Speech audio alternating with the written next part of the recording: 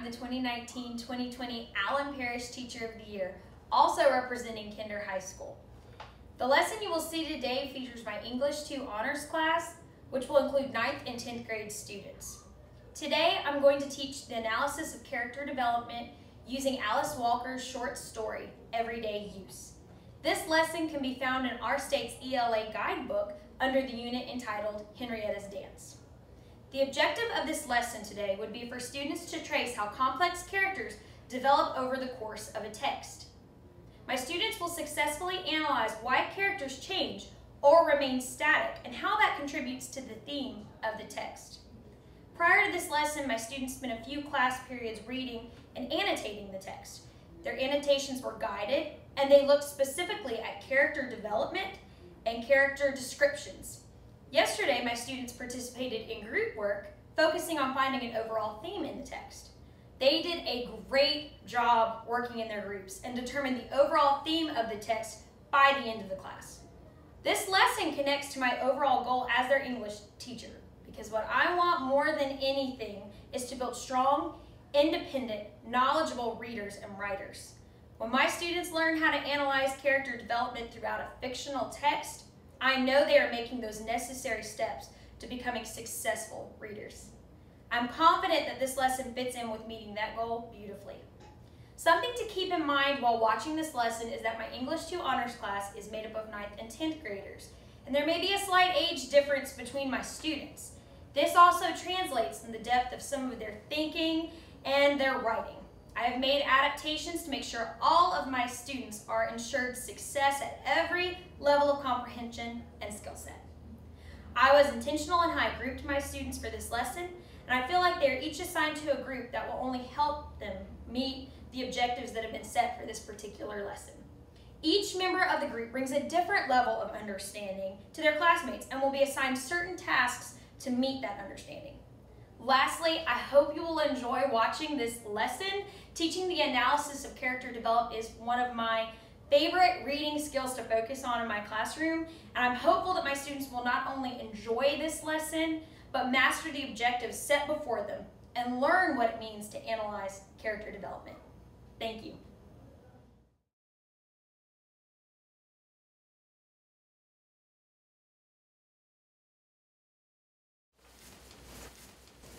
Let's go ahead and get started with some writing. So your bell ringer for today, be sure to write the date, January 10th. I want you to create a short story. In that story, I want you to create a specific character. We're focusing on characterization today. So, of course, you guys are going to write about a character. I want you to include descriptive words and phrases that tell me what your character looks like, kind of like an everyday use, how mama is described as a big boned large woman. There's your example. So make sure you describe your character similar to how mama is described in everyday use, something along those lines. Be descriptive. Uh, what kind of a personality does this character have? And what their biggest fear might be. I want you to include that in your writing. Make sure your story is five to eight sentences in length and write in complete sentences. Go ahead and get started. I'm going to give you all five minutes.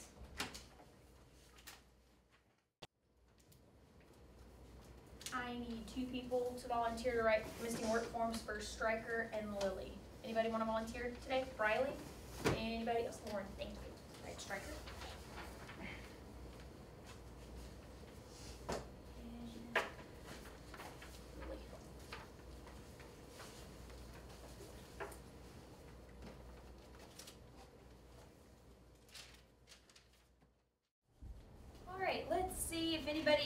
Wants to share anything about the character they have written about today? Is there anybody in here who wants to share? Josh, are you ready to share what you have written? All right, I'm really, really excited to hear this. Go for it. The forest was a picture of perfection. The trees appeared as shining emerald green, the water a glistening topaz, and the shine and the sunshine was a gold that covered with elegance, grandeur, and no sense of discrimination. It covered all and everything together was near perfect. The only blemish in the forest was a single area covered in fog.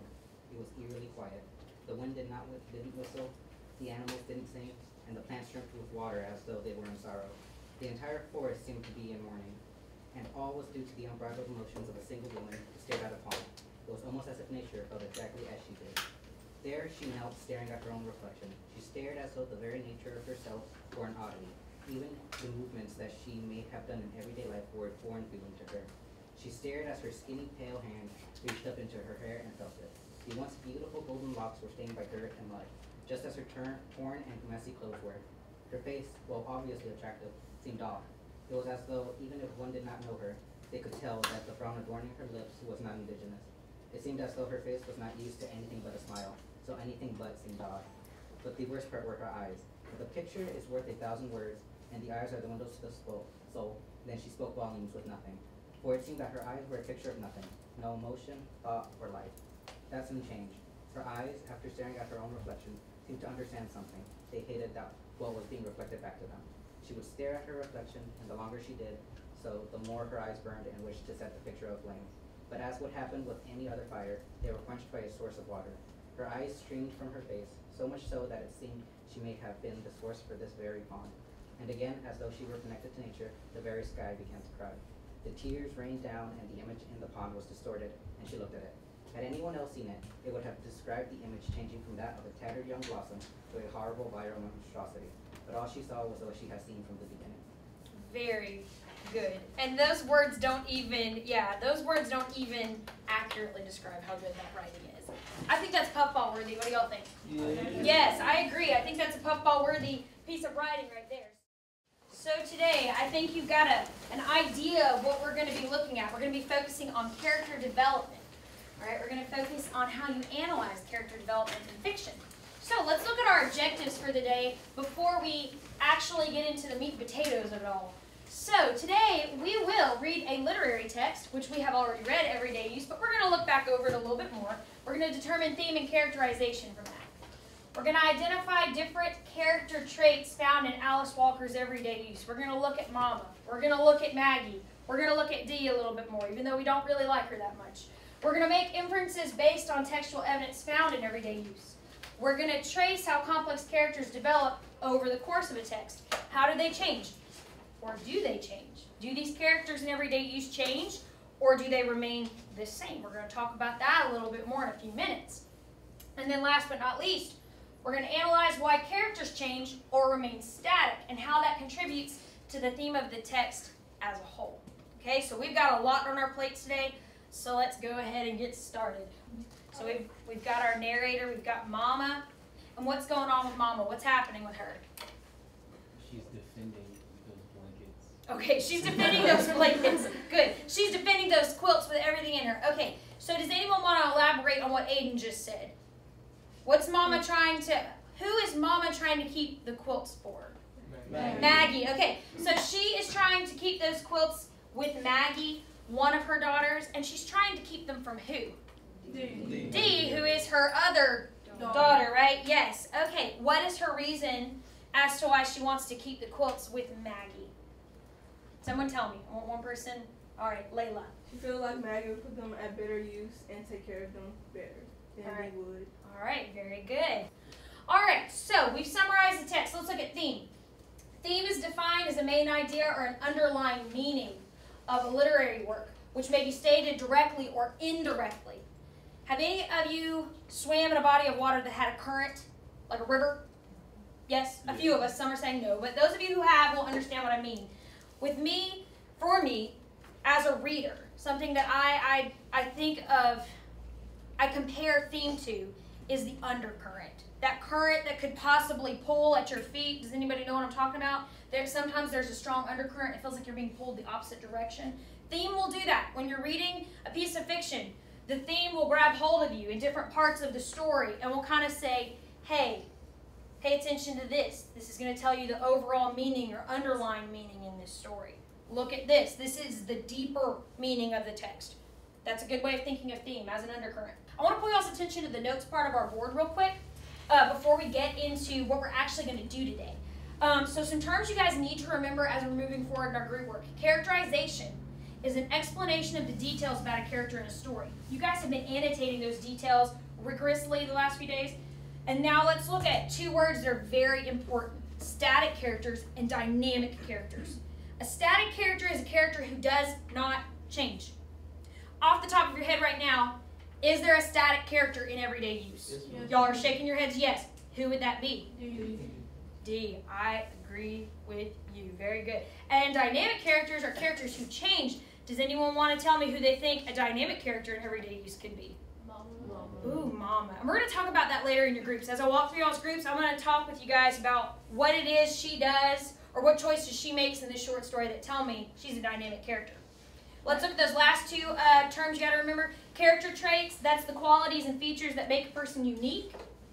Um, and then the last word there, inference. That's an intelligent guess. You guys have been making inferences pretty much all year, but a lot the last few days with this short story.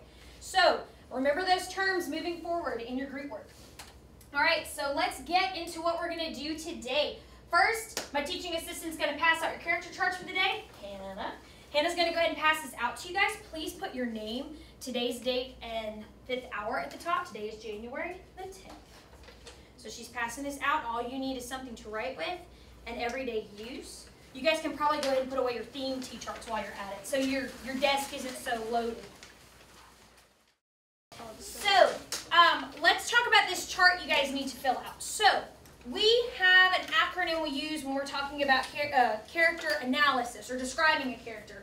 The acronym is STEAL, S-T-E-A-L. If everyone will look at the chart with me under the part that is titled Trait. The first thing you're going to look at is the speech of the character. What do they sound like? How do they speak? What kind of words do they use?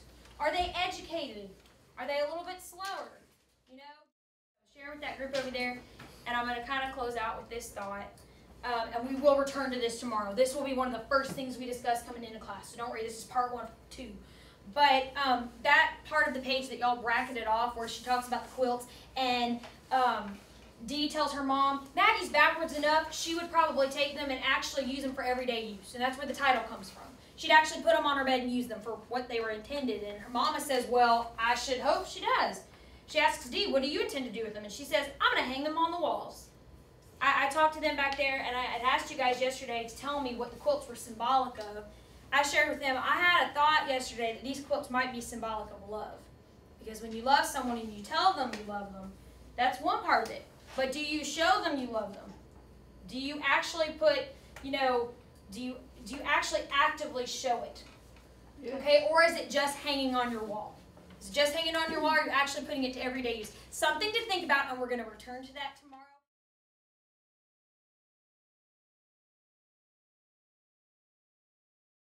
Well, I believe that my students met every objective set for them today. I think that lesson went great.